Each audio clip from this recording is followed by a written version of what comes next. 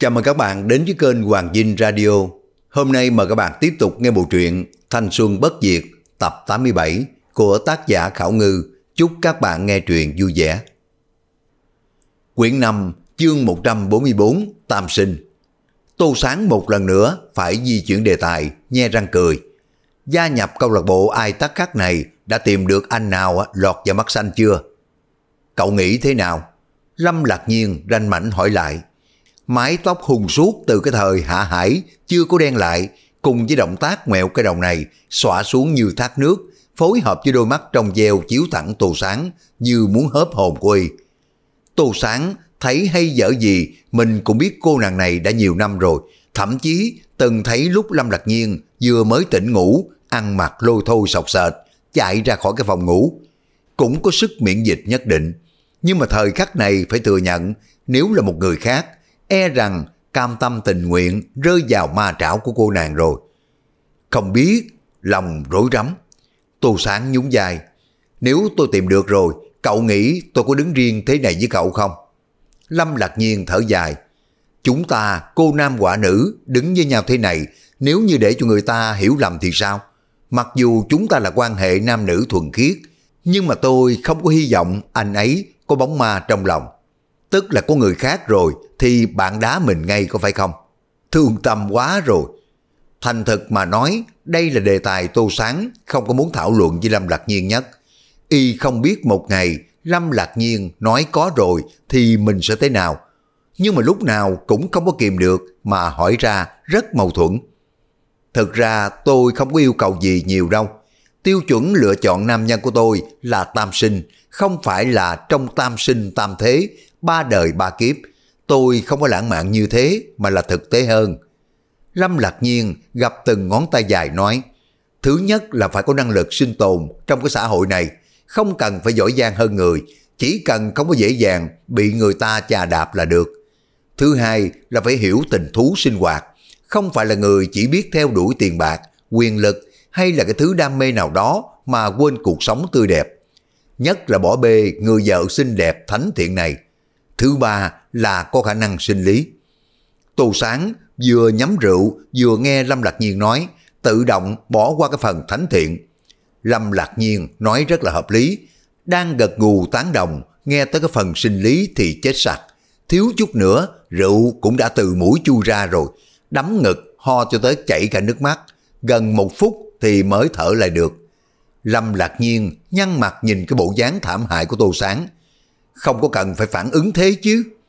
Cô nàng này thật sự cái gì cũng dám nói.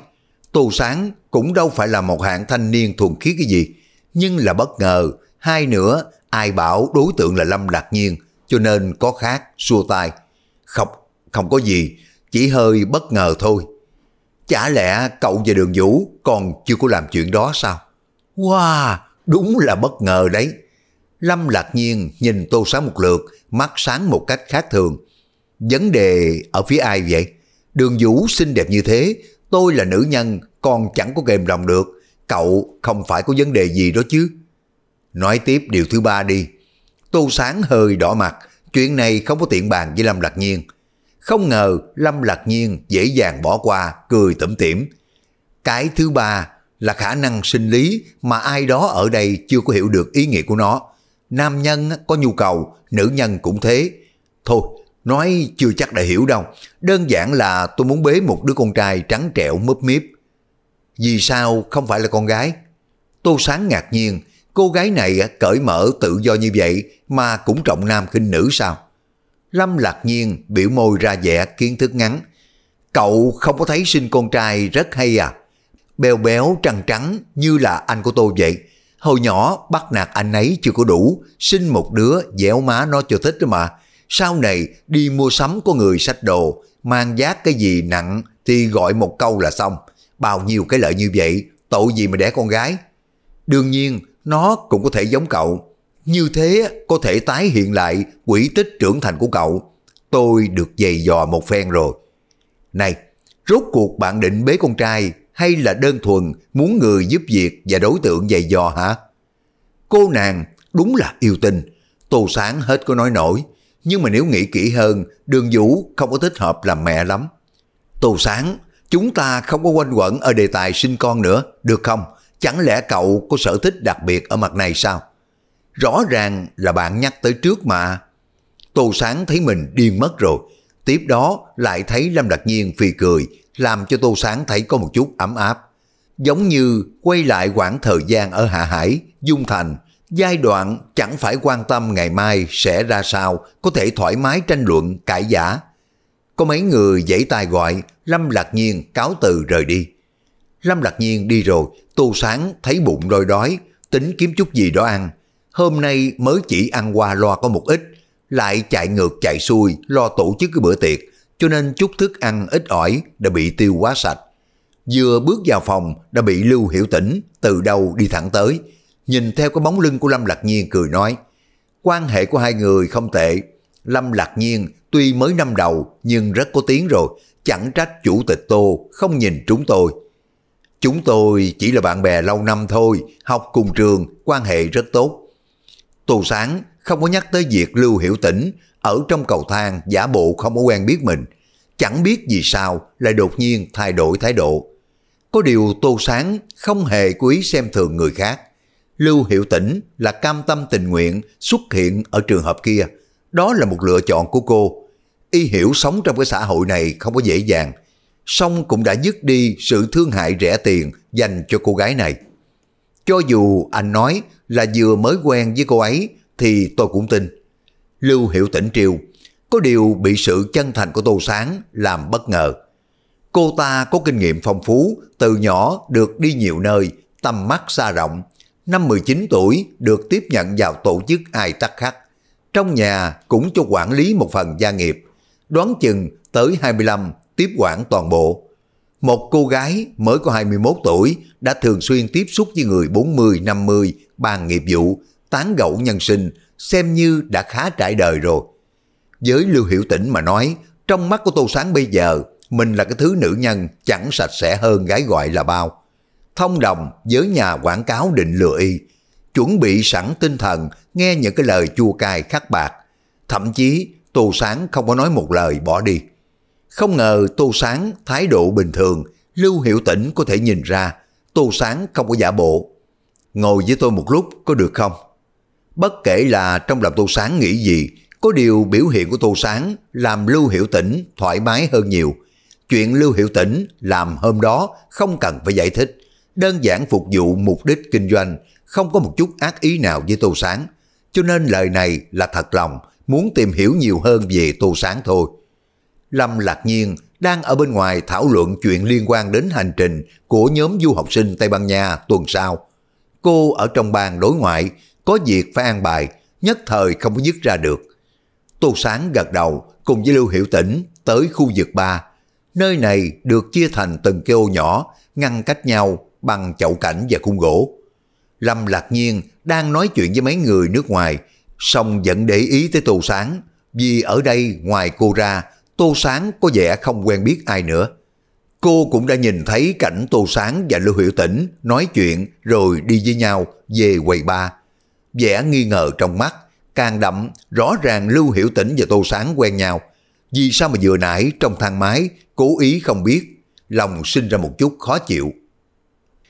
Quyển 5 chương 145 mời ra khỏi đây. Ở gần đó có ba người đang trò chuyện, thấy Tô Sáng và Lưu Hiểu Tĩnh đi tới, tức thì ngừng nói chuyện. Lưu Hiểu Tĩnh bật cười chế giễu. Có cần thiết bí mật như vậy không? Chẳng qua là thảo luận cái mô hình SNS chứ gì. Facebook người ta đã đi trước lâu lắm rồi. Người sáng lập tên là... Tên là gì nhỉ? À mắt. Đúng, mắt. Lưu Mộng Quy, một cốt cán của Viết bổ sung. Nghe nói đồng sáng lập còn có một du học sinh người qua nữa. Facebook hiện đang là mạng xã hội rất thịnh hành ở nước Mỹ, đặc biệt được giới học sinh sinh viên ưa chuộng, giống như là MSN vậy, hoặc là ICQ. Hiện giờ theo điều tra thì tỷ lệ người dùng MSN vì sự xuất hiện của Facebook mà giảm đi rõ rệt, đoán chừng tương lai chiếm tỷ lệ thấp hơn. Không có gì lạ, giống như nhắc tới Microsoft, ai cũng nghĩ tới Bill Gates. Nhiều người không hề biết người đồng sáng lập là Bull Allen, thế nên mới nói tới Facebook, người ta chỉ nhắc tới mắt, mà không có nói tới mình không làm cho Tô Sáng buồn, thậm chí thấy thở phào. Đây là hào quang mắt xứng đáng được nhận, y chỉ dây máu ăn phần thôi. Mạc Thanh Hà là một nam sinh khá già dặn, nước da tai tái giống như là con mọt game ngồi trong phòng lâu ngày. Có khác biệt với MSN, ICQ. Hai cái thứ này là phương thức liên lạc tính nâng cao. Còn Facebook là một loại mạng giao lưu, định vị khác nhau so với hình thức BBS thì trực quan hơn. Theo tình hình tô sáng quan sát thì sinh viên đại học trong nước ở giai đoạn mạng mới phát triển này không có giao lưu nhiều với nước ngoài, không am hiểu lắm tình hình quốc tế. Facebook lại chỉ phát triển hơn một năm đã trở thành nội dung thảo luận của những người này, độ nhạy bén rất cao. Chẳng trách người ta nói mấy câu lạc bộ này ngọa hổ tàn long vô số.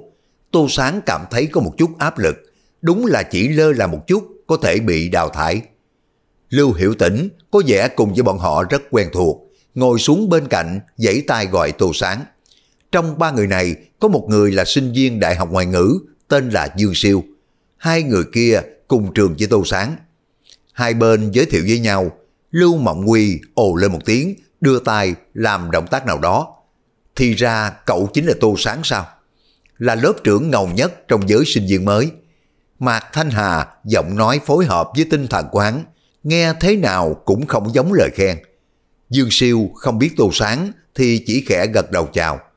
Ám hiệu của Lưu Mộng Quy tức là có người ngoài để nhắc nhở thành viên nói chuyện chú ý, không có nên nói quá lời. Thực ra không cần thiết, vì Tô Sáng không có đeo thẻ là biết khách mời rồi, nhưng mà cũng cho thấy cái đám người này biệt lập ra sao. Lưu Hiệu Tĩnh hơi xấu hổ, thầm nhủ may mà Tô Sáng không hiểu, nếu không thì thế này quá ngang nhiên bài ngoại rồi. Trừng mắt lên với mặt Thanh Hà, cái tên này theo đuổi cô không phải là bí mật gì. Tô Sáng lúc nãy còn mừng vì mọi người chỉ nhắc tới mắt mà không có nói tới y, còn bây giờ lại muốn vỗ ngực tuyên bố du học sinh người qua kia là tôi đấy. Y cũng biết câu lớp trưởng ngầu nhất này, nếu mà sinh viên năm thứ nhất nói á, thì có vẻ khen ngợi, nhưng mà đám sinh viên khóa trước thì hàm ý châm biếm. Mọi người có muốn đi vào lịch sử không? Hãy nhìn sự phát triển của Facebook tại Mỹ đi. Sự thành công của nó chỉ là sớm muộn, nhưng mà ở Trung Quốc còn chưa có mạng SNS hoàn thiện như thế. Tôi thấy trước khi mà tốt nghiệp nên làm ra một thứ tương tự. Xác định Tô Sáng là sinh viên năm thứ nhất, lại là người ngoài, không hề có sức uy hiếp. Ba người tiếp tục thảo luận chuyện thành lập mạng Facebook bản tiếng Trung, ý đồ mô phỏng Facebook tới Trung Quốc. Tô Sáng chăm chú lắng nghe, đột nhiên thấy khủy tai truyền tới một cảm giác cực kỳ mềm mại. Lúc đó là hương thơm ngào ngạt truyền vào mũi. Nửa người của Lưu Hiểu Tĩnh dựa vào mình, hai tay ôm chặt lấy cánh tay của y, ghé vào tai nói. Một kẻ hay quấn lấy tôi đã tới rồi, anh giúp tôi một chút nha. Tô Sáng đưa mắt nhìn, Mạc Thanh Hà nhìn thấy động tác này của Lưu Hiểu Tĩnh, làm cho mặt sám ngoét. Thực ra không chỉ là hắn, mà hai cái tên còn lại đang thảo luận cũng mở to mắt không tin. Tô Sáng chẳng phải là thánh nhân, cũng chẳng phải là liễu hạ huệ. Cánh tay lún sâu vào giữa hai cái bầu ngực đầy sức co giãn, làm người quy nóng lên. Bất kỳ nam tử tuổi trẻ khí thịnh nào cũng không có kiềm lòng được. Lưu Hiệu Tĩnh tủm tỉm cười, đưa ngón tay trỏ ra lắc lư. Tôi là người rất là hiếu kỳ, thật sự muốn biết quan hệ giữa cậu và Lâm Lạc Nhiên là cái gì. Cậu nói là bạn tốt, tôi không có tin đâu, bây giờ có thể thấy là tôi đã đúng rồi. Tô Sáng nghe Lưu Hiểu Tĩnh nói như thế thì mới dội ngẩng đầu nhìn theo phía ngón tay cô ta. Chỉ Lâm Đặc Nhiên đang trên đường tới quầy ba. Đột nhiên dừng bước, quầy ba đèn tối hơn ngoài đại sảnh. Trong cái bức tranh sáng tối đang xen đó, ánh mắt của Lâm Đặc Nhiên đột nhiên trở nên bén nhọn lạnh giá. Bỏ qua cái bộ lễ phục đẹp đẽ mới mua, cẩn thận chọn cách ăn mặc thế này vì ai chứ? Mình mới đi có một lát thôi cậu đã vui vẻ với cô gái khác rồi. Cái mặt đó rõ ràng rất hưởng thụ. Bỗng nhiên Lâm Lạc Nhiên thấy mặt Tô Sáng sao mà đáng ghét, mình sao mà ngốc nghếch như vậy chứ. Không có thèm để ý Tô Sáng nữa, đang sững sờ nhìn mình. Lâm Lạc Nhiên chuyển hướng như là một bông lúa bị người ta bẻ ngoặt sang một bên. Lúc này quầy ba cũng im phăng phát đại tiểu thư Lưu Hiểu Tĩnh cực kỳ cao ngạo, không ngờ ngã vào lòng của một nam nhân, còn là một sinh viên mới, một người ngoài, quả khó tin. Tu sáng, lòng nhói đau, đỡ lấy vai của Lưu Hiểu Tĩnh đẩy ra, vội vàng đứng dậy đuổi theo Lâm Lạc Nhiên giải thích. Y có thể đoán được Lâm Lạc Nhiên khó chịu ra sao. Hôm ở buổi tụ hội của Đỗ Đại Duy, Y đã nhìn thấy Lâm Lạc Nhiên thân thiết với nam sinh khác, giận dỗi không chào mà về. Chuyện vừa rồi còn quá mức hơn nhiều. Thế nhưng có ba bóng đen ngăn cản đường của Tô Sáng, là Vệ Đinh Đinh và hai thanh niên khác.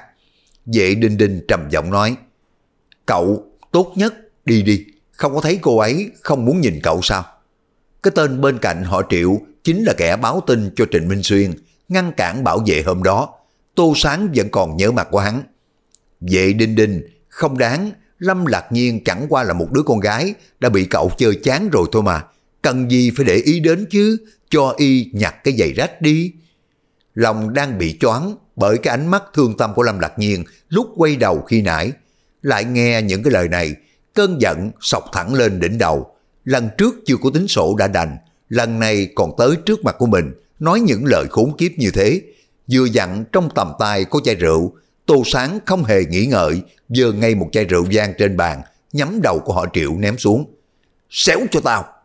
Mấy người trong quán bar đứng dậy hét lên.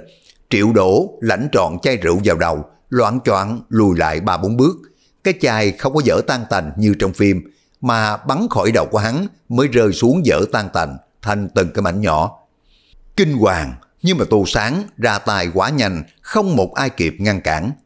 Triệu đổ ngã ra đất, đưa tay ôm đầu, máu chảy tứa ra dọc xuống mặt, nhưng mà tô sáng không có ý định bỏ qua, chân bước nhanh tới. Này, cậu kia, đứng lại, định làm cái gì vậy hả? Lưu Mộng Quy đã bị vẻ mặt đằng đằng sát khí của Tô Sáng làm chấn kinh, đứng bật dậy quát. Tô Sáng không nghe, xông tới tung chân đá triệu đổ. Nhưng mà vệ đinh đinh đang định cú xuống, đỡ triệu đổ. Thế nên cú đá này trúng vai của vệ đinh đinh, làm cho hắn ngã sắp người xuống triệu đổ. Dừng lại! Lâm lạc nhiên bị tiếng quát làm cho quay lại, vừa dặn thấy Tô Sáng đá vệ đinh đinh, quảng hốt lao nhanh tới, dùng hết sức lực đẩy Tô Sáng ra đằng sau. giang tay ra chặn giữa Tô Sáng và vệ đinh đinh, quát lên như là muốn bật khóc.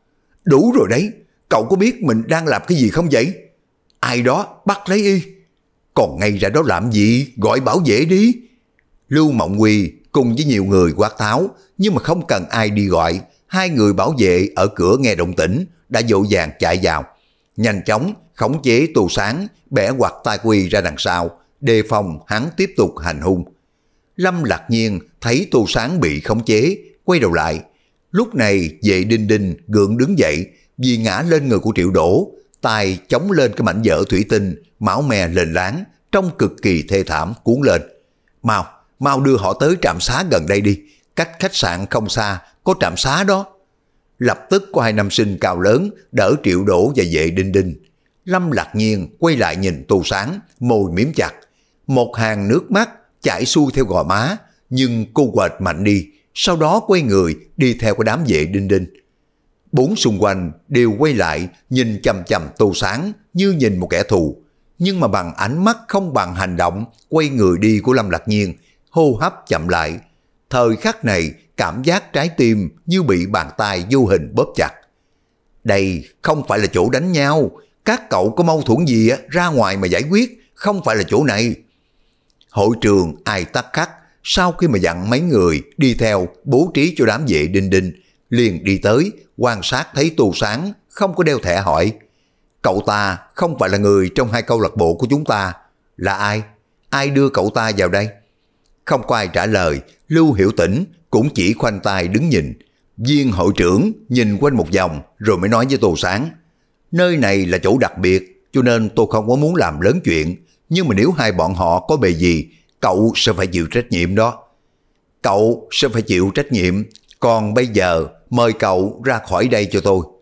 Ngón tay chỉ về phía cửa. Hai bảo vệ buông tay của Tô Sáng ra.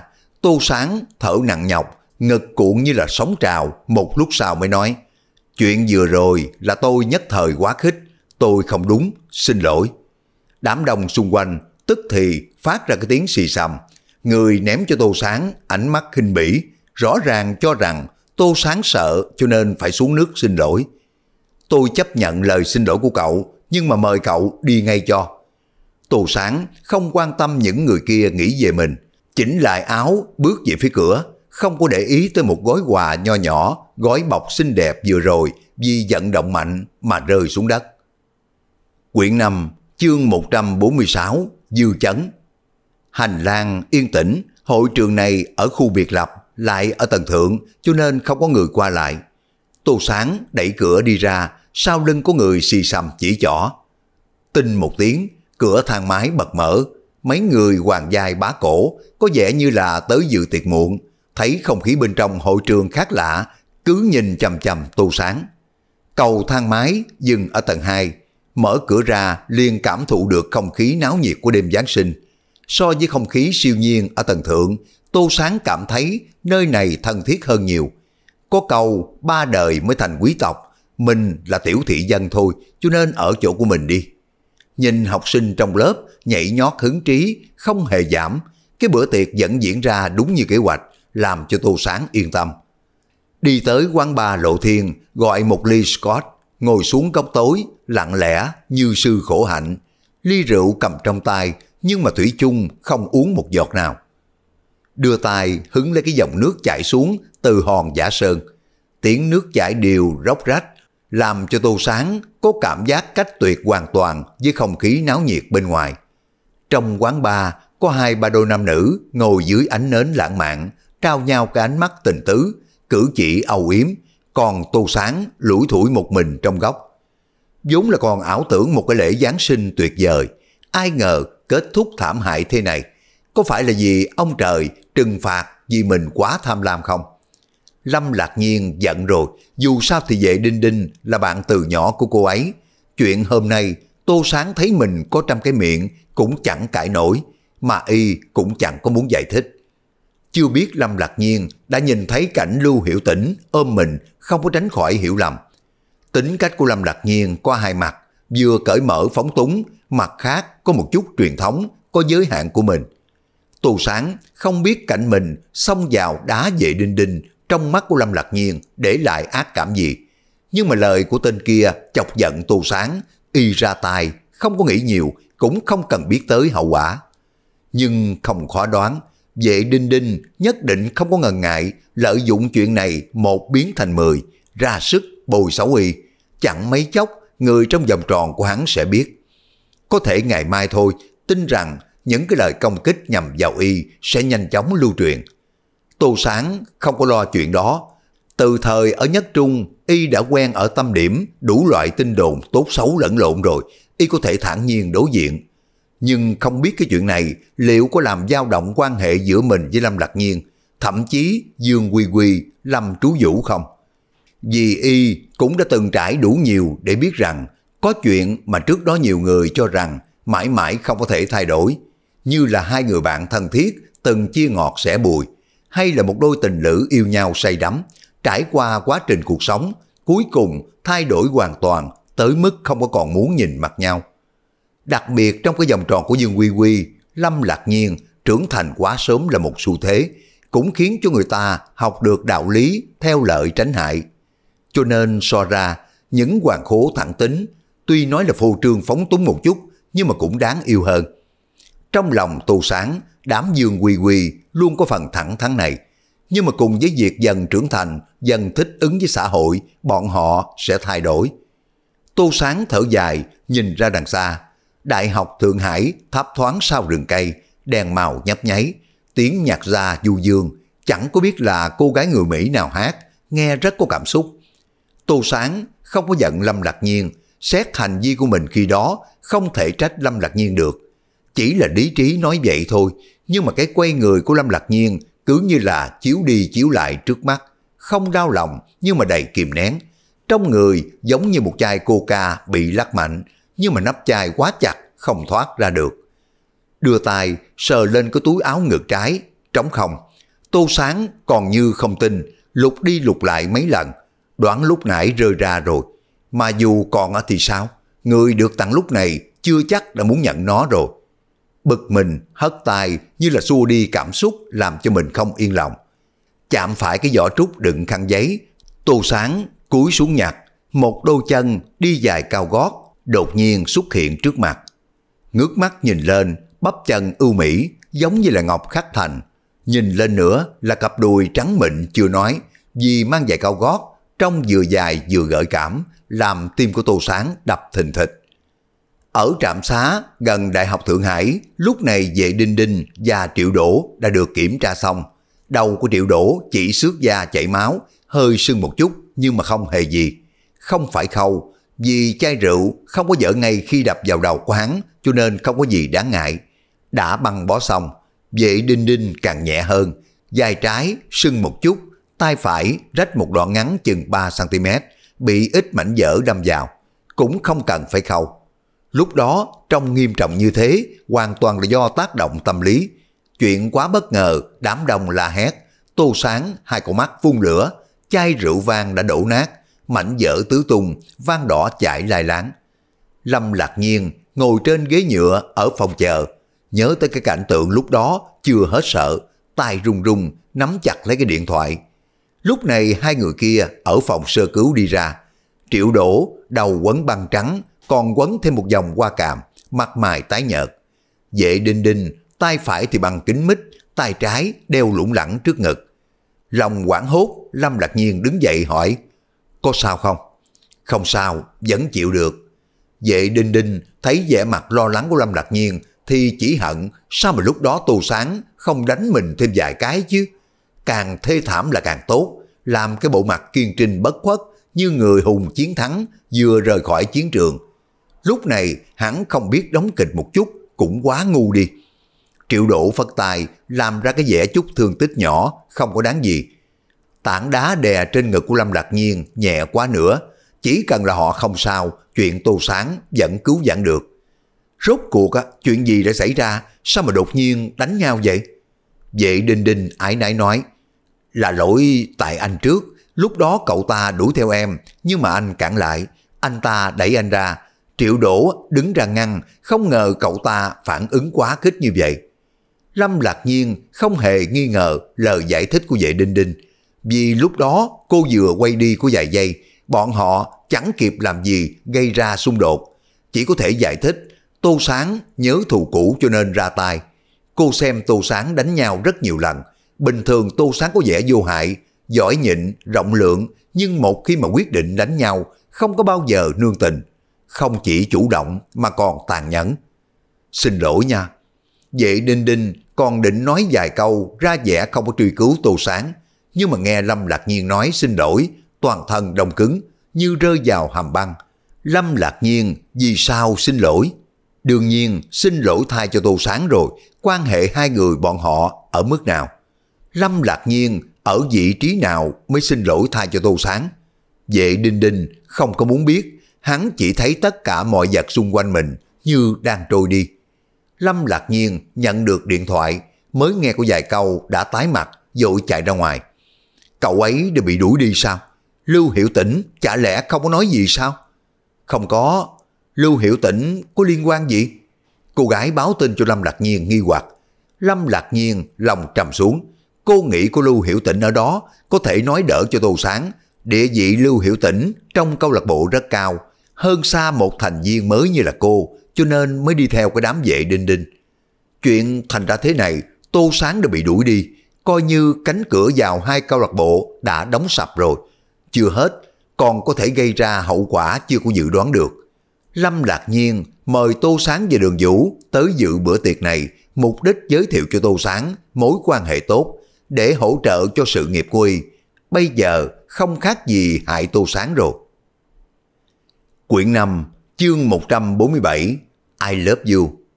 Khuôn mặt xinh đẹp của đường Vũ xuất hiện trước mắt của Tô Sáng, ánh mắt như sao sáng ngoài kia, từ trên nhìn xuống. Đôi mắt đen thâm thúy mà xa xăm, tựa hồ bất kể cái thứ gì sâu trong nội tâm dưới ánh mắt đó cũng không còn gì là bí mật nữa. Sao mà lại tới chỗ này? Nhìn ra tâm tình của Tô Sáng không tốt, nhưng mà đường Vũ không hỏi nguyên do, vì cô không biết an ủi người khác, nhưng mà nếu cần, cô có thể ngồi xuống cùng Tô Sáng suốt cả đêm. có một vài chuyện làm cho lòng anh không yên. Nếu như nói trên thế giới này ai có thể làm cho Tô Sáng đem bi ai quan lạc chia sẻ, thì đường Vũ rất có khả năng là người duy nhất đó. Biết sao được, Tô Sáng có thể nói dối đường Vũ vài chuyện nhỏ, nhưng mà y không có thể giấu được đường Vũ tâm tình của mình.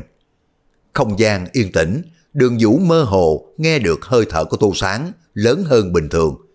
Giống buồn bực, lại giống như là giận dỗi.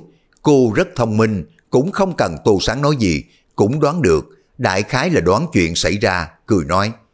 Khi còn nhỏ, mẹ em đã kỳ vọng em rất cao. Bà của em còn gọi em là Mục Quế Anh, cho nên rất để ý cái nhìn của người khác về mình.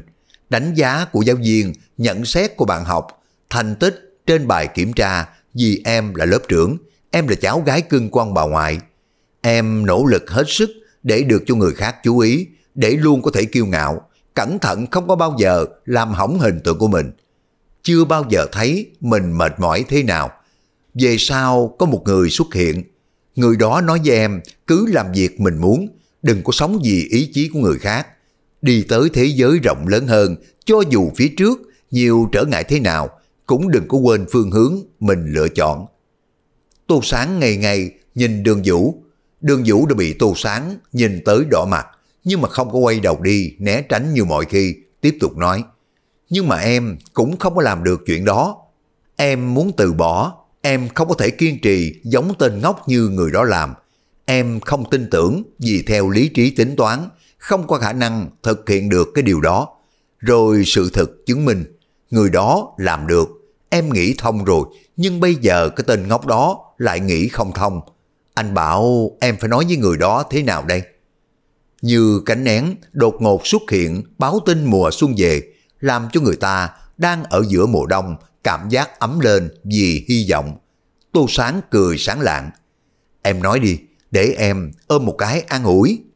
Đường Vũ chớp chớp mắt, mặt bốc lên hơi nóng. Cách đó không xa, có một đôi nam nữ quấn lấy nhau. Tiếng chút chích làm cho cô đứng ở chỗ này cũng như có thể nghe thấy. Tuyệt đối không tin Tô Sáng chỉ ôm có một chút. Nhất là tâm tình của Tô Sáng đang rất kém. Thế nào cũng phải hy sinh không nhỏ rồi để an ủi y. Nhẹ nhàng cắn môi, cánh mũi xinh xắn, hơi phập phồng, nói như là tiếng mèo rên. Ra chỗ khác có được không? Không có nghĩ em cũng háo sắc như thế sao? Tô Sáng khẽ cười một tiếng, đưa tay ra kéo đường Vũ ngồi xuống lòng mình. Đường Vũ hơi quảng nhưng mà không dám kêu. Căng thẳng một lúc, nhận ra Tô Sáng không có định làm gì mình cả. Chỉ lặng lẽ áp mặt vào giữa vai và cổ của mình. Lần đầu tiên ôm đường Vũ trong lòng, mà Tô Sáng không có tà niệm, chỉ có một sự bình lặng êm đềm trong lòng. Tô Sáng biết quan hệ của mình và Lâm Lạc Nhiên ở ranh giới nguy hiểm, chỉ cách có một bước nữa thôi là có thể hoàn toàn thành tình yêu nam nữ rồi. Hôm nay lúc mà chạy đuổi theo Lâm Lạc Nhiên, hay lúc nãy không tìm thấy cái món quà làm cho Tô Sáng muốn lao đi tìm có thể sẽ vượt qua bước đó. Hiện giờ ôm đường vũ trong lòng, cảm thụ nhịp đập trong trái tim của cô qua cùng nhịp đập của mình. Tô Sáng lần nữa giữ vững được vị trí của mình. Đường Vũ, vì sao mà em lại chọn anh? Tô Sáng bất ngờ hỏi. Đường Vũ đẩy đầu của Tô Sáng ra, tay vuốt ve gò má quỳ, ánh mắt thầm thúy. Sao bây giờ lại hỏi cái chuyện này? Anh thiếu tự tin sao? Không phải, bây giờ thì không, nhưng mà nhớ lại khoảng thời gian mới vào nhất trung, anh gầy gò thấp nhỏ, thành tích học tập cũng không có gì đáng chú ý. Chẳng biết ăn nói, còn bị thầy tiêu ghét nữa. Nói tóm lại là không có bất kỳ cái gì để mà so sánh với nhạc tử giang. Vì sao mà em, vì anh mà từ chối anh ấy? Vì anh ấy gửi giấy cho em sao? Anh không tin, có vô số người theo đuổi em, làm gì có thủ đoạn nào mà họ chưa nghĩ tới chứ? Là anh hỏi đấy nha. Đường Vũ rời đùi Tô Sáng, kéo cái ghế ngồi xuống bên cạnh y. Tô Sáng hít sâu một hơi, ưỡn ngực lên. Anh đã chuẩn bị tư tưởng rồi.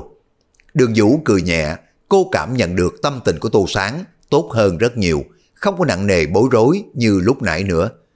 Để xem nên bắt đầu từ đâu đây? Khoảng giữa năm thứ hai sơ trung, em thích một học trưởng. Cái gì? Tô Sáng phản ứng không khác gì, con mèo đã bị giật mất khúc cá, khỏi miệng cho nên lập tức đứng bật dậy xù lông. Từ trước tới nay, Tô Sáng cứ nghĩ mình là người đầu tiên tiến vào trái tim băng giá của đường Vũ. Không ngờ có người con trai khác nữa sao? Mà có vẻ đường Vũ còn là người thích trước. Y nói hơi to làm cho mấy đôi nam nữ đang âu yếm nhau giật nảy cả mình. Nhìn sang, đường Vũ mới dội kéo Tô Sáng ngồi xuống. Anh không phải là mối tình đầu của em sao? Đường Vũ vừa tức mình vừa buồn cười. Hai người bọn họ tiến triển tới bước này. Ôm cũng đã ôm rồi, hôn cũng đã hôn rồi. Chỗ nên sợ, không nên sợ đều cho y cả rồi. Tuy thiếu cái bước cuối cùng nữa thôi, cũng không có khác là mấy nữa, ai ngờ vẫn hẹp hòi so đo chuyện từ bao giờ. Vậy em có phải là mối tình đầu của anh không? Tô sáng á khẩu, không khác gì quả bóng xì hơi, nhưng mà giọng vẫn có một chút hậm hực kiểu trẻ con. Em nói tiếp đi. Thực ra chị miễn cưỡng tính là mối tình đầu, học trưởng đó cũng là lớp trưởng cho nên bọn em có nhiều cơ hội tiếp xúc trong một số hoạt động ở trường tổ chức. Anh ấy chơi dương cầm cho nên có tiếng nói chung rất hợp ý.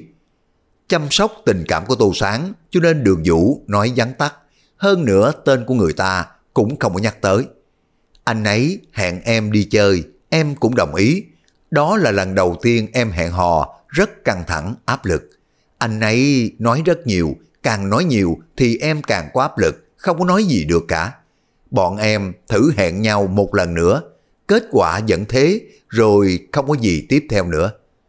Tô Sáng có thể hiểu được, chàng trai nào đó có cơ hội hẹn hò với đường vũ, mà chẳng như một con cong xòe đuôi, lấy hết mọi khả năng ra thể hiện. Nhưng mà lúc đó, đường vũ còn rất non nớt, thua xa cả hồi ở nhất trung cùng mình. Anh chàng kia thấy đường vũ căng thẳng thì càng cố nói để mà giải tỏa cho đường vũ. Kết quả tạo thành bi kịch, đúng là quá hoang uổng. Đã nắm tay chưa? Tô Sáng tuy hoàn toàn thoải mái rồi nhưng mà vẫn hỏi. Chưa, hai lần hẹn hò, em nhìn anh ấy còn chẳng dám nữa, không có biết anh ấy nghĩ gì về em, đúng là xấu hổ. Em nói đúng, như thế không có hoàn toàn tính là mối tình đầu, anh mới là mối tình đầu của em chứ. Tô Sáng đang cười khoái chí, chợt nhớ tới cái gì, mồm há hốc một lúc mới lắp bắp nói được. Tức, tức là em chấp nhận anh chỉ vì lúc đó anh không có nói gì sao? Nhớ lại mới đầu khi mà hai người đi học về cùng nhau, thường có khi chẳng có nói lấy một câu nào. Đúng vậy, thế cho nên em mới quen dần được chứ. Đường Vũ lườm Tô Sáng một cái. Ai ngờ bị gạt, bây giờ anh nói quá nhiều luôn. Nói thế có nghĩa anh chỉ là một cái thằng ngốc gặp may sao? Phát hiện này làm cho Tô Sáng thấy không có chút gì đáng tự hào. Không phải, đường Vũ đưa hai tay ra, giữ má của Tô Sáng kéo lại, trán dựa vào trán quỳ, dịu dàng nói, là duyên phận đưa chúng ta tới với nhau chứ. Tô Sáng cười nhẹ, đưa mặt tới, hôn lên đôi môi ướt át của đường Vũ một cái. Anh yêu em, em cũng yêu anh. Tô Sáng ôm vòng eo của đường Vũ kéo vào trong lòng. Năm ngoái, đêm Noel ở Boston rất lạnh. Noel năm nay, nhiệt độ ở Thượng Hải cũng không có cao hơn. Hai người ôm nhau một chỗ, không cảm thấy lạnh chút nào. Quyển 5, chương 148, năm 2002 Tầng 19, khách sạn Rao, Lâm Lạc Nhiên trở về hỏi mấy người có mặt ở gần đó về tình huống khi đó. Câu trả lời thu được không có khác lời của vệ Đinh Đinh nói. Sau đó vì cô bỏ đi cho nên khi mà hội trưởng câu lạc bộ hỏi ai là người bảo đảm cho Tô Sáng thì không có ai lên tiếng. Rốt cuộc Tô Sáng bị đuổi đi nhưng mà Lâm Lạc Nhiên không hỏi Lưu Hiểu Tình. Lâm Lạc Nhiên vừa gọi điện thoại vừa đi đi lại lại trên ban công chần chừ một lúc cuối cùng chạy ra khỏi phòng đi thang máy xuống tầng 2 tới hội trường tổ chức yến hội lấy dũng khí đi vào. Cái tiệc Giáng sinh của lớp số 4 đã gần kết thúc, mọi người bắt đầu ra về. Một cô gái như Lâm Lạc Nhiên xuất hiện, đương nhiên gây chú ý. Lý Hàn nhận ra Lâm Lạc Nhi ngay, đi tới nói, bạn tìm tu sáng sao? Chẳng biết sao lại chơi trò mất tích rồi, làm cho chúng tôi phải xử lý phần còn lại. Vậy đường vũ đâu? Cũng không có thấy nữa, chắc là ở cùng một chỗ với Tô Sáng rồi. Cũng phải thôi, đêm Giáng sinh mà. Bọn họ thế nào cũng kiếm một chỗ để mà hưởng không gian riêng rồi. Lý Hàn cố tình nói thế, hắn rất tinh tế chứ không có giống bề ngoài cục mịch của mình. Nhận ra quan hệ của Tô Sáng với Lâm Lạc Nhiên vượt mức bình thường, nhưng mà hắn ủng hộ đường vũ. Vậy sao? Cảm ơn nha. Lâm Lạc Nhiên gượng cười quay đi. Cảm thấy bản thân đúng là ngốc nghếch, đáng thương. Lúc này Tô Sáng và Đường Vũ chắc chắn đang âu yếm nhau ở một góc tối nào đó. Đâu có gần mình, thật sự không có đáng chút nào. Chỉ là muốn khóc thật to, nhưng mà cô không khóc, khóe miệng nhếch lên thành một nụ cười chế giễu, có đủ chua xót cay đắng. Phía trường Đại học Ngoại ngữ có người gọi điện tới, báo với cô chuẩn bị theo xe về trường. Ra tới bên ngoài khách sạn, chính giữa hai hàng thông Noel cực lớn. Chiếc xe khách của bên tổ chức đã tới rồi, một số sẽ về trường, một số chuẩn bị đi chơi thâu đêm. Lưu Hiểu Tĩnh lên một chiếc xe màu xanh lam, khởi động phóng thẳng đi. Lúc qua Lâm Lạc Nhiên, hai đôi mắt qua kính cửa sổ nhìn nhau. Hai cô gái có thể coi là xinh đẹp nhất của chỗ này, ánh mắt đều có một chút địch ý. Chiếc xe khách lớn quay đầu, học tỷ dãy tài. Lạc Nhiên, mau, lên xe đi. Dân, em tới đây. Lâm Lạc Nhiên chạy nhanh tới vì nhiều người tiếp tục đi chơi, xe rất vắng. Lâm Lạc Nhiên tìm một chỗ xung quanh, không có ai ngồi xuống, mắt cứ nhìn về Đại học Thượng Hải. Xe khởi động đi dưới con đường văn kính đèn vào đường chính. Lâm Lạc Nhiên nhận được rất nhiều điện thoại, không có điện thoại của người cô chờ đợi. Đều là bạn bè gọi tới hỏi thăm câu chuyện kia. Cuối cùng cô bực mình tắt máy. Tô Sáng đưa đường Vũ về ký túc xá. Trên đường về phòng gọi cho Lâm Lạc Nhiên nhưng báo không có liên lạc được, cười khổ. Cô nàng lại chơi trò tắt máy sao? Lần này chắc là giận mình lắm đây. Vậy là cái đêm Giáng sinh qua đi, năm 2001 cũng qua đi. Năm 2002 đã tới, kỳ nghỉ mọi người mong đợi từ lâu cũng sắp đến rồi. Ngày 1 tháng 1 năm 2002 là thứ Bảy, lại là một ngày lễ hội. Các khoa của Đại học Thượng Hải tưng bừng tổ chức dạ tiệc đón mừng năm mới. Cái tháng 1 đều là nhiều việc, lòng người không yên, thống khổ cũng bắt đầu. Một học kỳ sắp kết thúc cũng đồng nghĩa với việc kỳ thi cuối kỳ đang tới. Giáo viên của trường đại học Thượng Hải rất biến thái. Trước kia cứ nghĩ là học tỷ, học trưởng của khóa trước dọa. Giờ sinh viên mới dần hiểu ra cái đám giáo viên biến thái kia đua nhau đánh trượt học sinh nhiều để mà thể hiện cái độ khó của môn học của mình. Thế là một bầu không khí u ám bao phủ lên toàn bộ học viện sinh viên mới. Không còn có một giáo viên nào trong mắt sinh viên là hiền hòa đáng yêu. Nụ cười nào cũng giấu đao kiếm đằng sau. Tưởng tượng ra cảnh mấy cái lão biến thái ban ngày ăn mặc đàng hoàng đỉnh đạt, tối tối dưới ánh đèn mờ soạn đề thi. Đôi mắt đằng sau cặp kính ánh lên cái màu đỏ ngầu của giả thú thế nào. Không ai muốn mình là người bị gục ngã.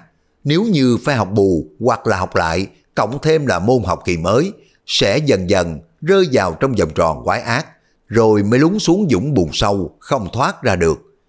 Tháng cuối cùng này không có dễ thở chút nào, học tập căng thẳng, không phải nói. Ngoài ra thì đủ chuyện, bát nháo tùm lum, dồn lại nữa. Hội học sinh và câu lạc bộ bận rộn chuyện bàn giao, kế hoạch năm mới, sắp tới còn là Tết âm lịch. Ở thư viện, chuyện cướp chỗ diễn ra càng ngày càng ác liệt. Thậm chí có người giác cả gạch vào thư viện mà đặt chỗ. Tưởng chừng ai ai cũng phải tránh đường, nhưng mà đi lấy sách quay trở về, hòn gạch đã bị ném xuống đất, thay vào đó là băng vệ sinh của phụ nữ. Chỉ còn biết thở dài, thời nay nam không bằng nữ rồi. Có điều người làm công tác giáo dục thì lại cho là một chuyện tốt. Sinh viên tranh giành chỗ, ngồi trong thư viện, chứng minh là tinh thần học tập. Nhưng mà mọi người liều mạng như thế, chẳng qua là bị lửa đốt đi, cũng là vì tin tưởng vượt qua được kỳ thi địa ngục này là cái kỳ nghỉ thiên đường.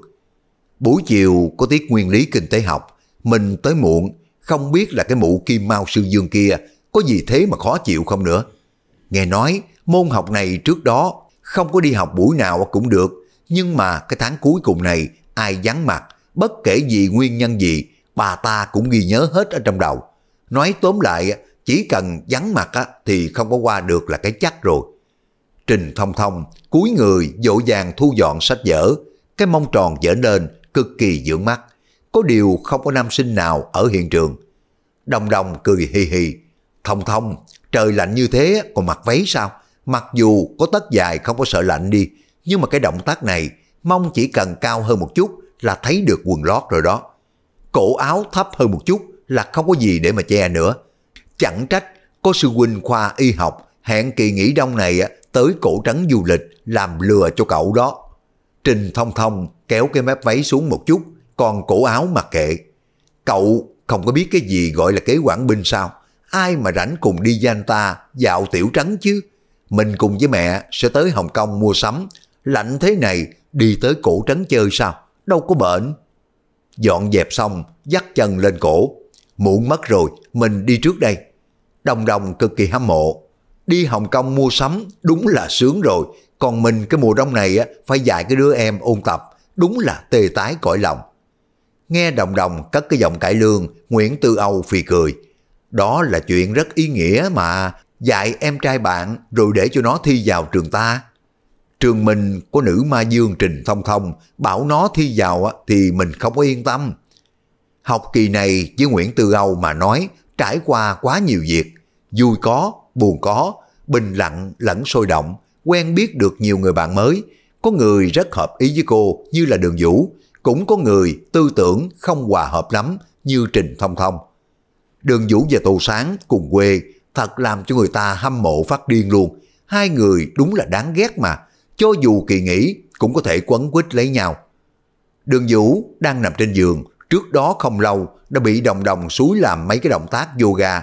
Lý do đồng đồng nói giáo viên của cô là bậc thầy chăm sóc sắc đẹp trong cả nước. Động tác này có tác dụng nở ngực, săn mông, đồng thời làm cho người ta giảm cân từ vai cho tới mắt cá chân. Không một nữ sinh nào có thể kháng cự được sức dụ hoặc này, đường vũ cũng thế. Vì thế, mấy ngày qua, đường vũ cũng theo đồng đồng luyện tập yoga. Ừ, có lẽ bọn mình sẽ về cùng nhau. Đường vũ mắt chăm chú nhìn trần nhà, miệng khẽ thở theo nhịp. Cô và Tô Sáng cũng chưa có hẹn nhau, nhưng cũng thế cả. Hai cô bạn cực kỳ hâm mộ, thực sự không chỉ khiến cho một đám nam sinh ghen tị, ngay cả nữ sinh cũng không có chịu nổi, muốn leo lên giường cha đạp đường vũ một trận. Tô Sáng tặng cho cậu cái vòng tay, vậy thì cậu tặng cho Tô Sáng cái gì vậy? Làm sao phải giấu kín thế? Đường Vũ chỉ cười không đáp như mọi khi. Hai cô bạn không có thỏa mãn được sự tò mò, hận ngứa răng ngứa lợi. Quyển 5, chương 149, không cho đắc ý. Bữa tiệc Giáng sinh hôm đó thật là vui, nhất là tiết mục của phòng 602, làm cho mình nhớ lại vẫn buồn cười. Bọn họ mỗi người một phong cách riêng, mà trong có vẻ lý hàng có ý với đồng đồng của chúng ta. Nhưng mà nhìn bọn họ một người cao hơn 1m8 với một người 1m6, chết cười luôn. Nguyễn Từ Âu trêu chọc. Tướng cao mà ngon sao, có giỏi thì đọ ngực đi. Đồng đồng ưỡn ngực lên, Trình Thông Thông từng phát động một cuộc so đọ cái dòng ngực trong phòng. Hết sức bất ngờ, đồng đồng thấp nhất lại đứng đầu. Sau đó mới tới Trình Thông Thông. Đường Vũ và Nguyễn Tư Âu thì nghe số đo của hai người đó dứt khoát không có tham gia nữa, đồng hạng bét. Vì thế, từ đó về sau, hơi một chút, đồng đồng muốn đọ ngực. Còn hơn ai đó đi xin điện thoại của người ta. Nguyễn Tư Âu quát, Này, ai đi xin chứ? Người ta chủ động cho đó. Thật là mình mà mất giá vậy sao?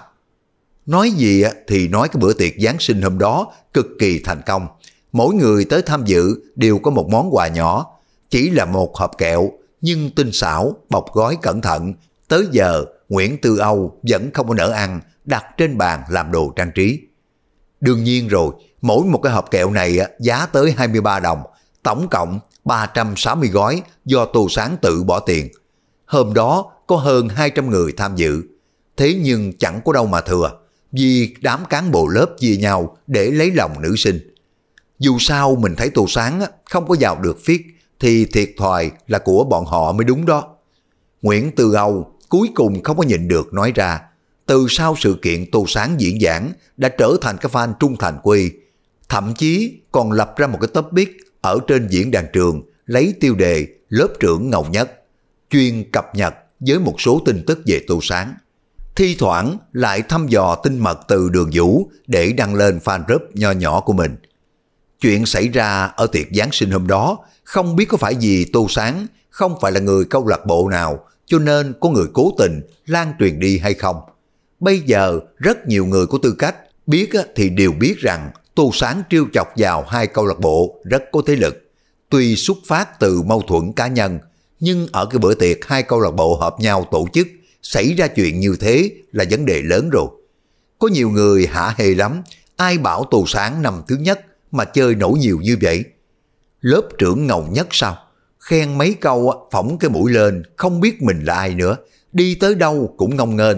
Giờ thì hay rồi, bị người ta đuổi ra khỏi cái bữa tiệc. Chắc hẳn đây là lần đầu tiên của cả hai trường có trường hợp như vậy. Thấy chưa? Từ hồi mà cậu ta dên giáo cãi nhau với thầy Lý, tôi đã nói rồi, loại người như vậy làm sao mà đắc ý được lâu chứ? Bây giờ chuốt quả vào thân rồi. Bình luận kiểu như thế trên forum của trường tất nhiên bị đám Nguyễn Tư Âu nhảy vào chửi. Làm sao mà chửi lại một đám con gái? Thế là những cái kẻ kia lại bình luận kiểu rồi đợi mà xem.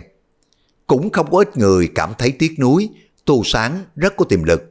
Nếu cứ giữ cái đà này, đến năm học thứ ba được tuyển vào phiết không phải là quá khó.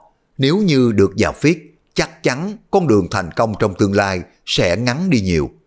Nhưng xảy ra cái chuyện đêm Giáng sinh, con đường này coi như đã bị chính y lắp kính. Với một người từng bị đuổi đi trong cái trường hợp đó mà nói, cánh cửa vào phiết mãi mãi đóng lại rồi. Mặc dù không phải là nhất định vào phiết mới có thể thành công trong tương lai, nhưng mà điều Tô Sáng làm còn tệ hơn thế, để lại ấn tượng xấu với người của phiết. Mà những người này đều có địa vị ở trong Đại học Thượng Hải. Vô hình trung, nhiều cánh cửa đóng lại, vô số chướng ngại vật được dựng lên. Thậm chí có một số người cho rằng Tô Sáng chẳng có làm được lớp trưởng bao lâu nữa. Xung đột ở cái bữa tiệc liên quan tới chuyện làm lớp trưởng sao? quan đường. Nhưng sau đó Tô Dĩ Nhất gọi Tô Sáng tới văn phòng. Hôm đó nửa sau bữa tiệc không có thấy em đâu cả. Em đi đâu vậy? Em tham gia một bữa tiệc khác. Tô Sáng thành thật khai báo. Em tổ chức cái buổi lễ Giáng sinh cực kỳ thành công. Nhưng không có ở lại cuối cùng em là người tổ chức chính, lại buông tay để lại cái việc thu dọn hiện trường cho các bạn, tôi thấy không có thích hợp lắm. Tô Dĩ Nhất gõ bàn một lúc, cuối cùng cũng hỏi, tôi nghe nói em có một chút gia chạm ở bữa tiệc kia sao? Dân. Tô Sáng gật đầu, Tô Dĩ Nhất gọi y tới văn phòng, tất nhiên đã biết đầu đuôi câu chuyện. Bình thường cái chuyện kiểu này trường học biết được chỉ nói, bọn trẻ ấy mà, rồi bỏ qua nhưng mà dính dáng tới cái thứ như là phiết, dễ làm thần kinh của người ta trở nên mẫn cảm. Sau lúc đó không thấy lý do lỡ tay, mấy cái lý do đó dùng nát cả rồi, dù sao thể diện cũng dễ coi hơn. Tô Dĩ Nhất thở dài, em chủ động đánh người, em không có phủ nhận. Tô Sáng không có giải thích, đoán chừng là cái tên bị mình đánh thông qua quan hệ gây áp lực với nhà trường. Có kẻ đúng là đáng ăn đòn. Tô Sáng ngạc nhiên nhìn Tô Dĩ Nhất. Ông ta xua tay nói tiếp.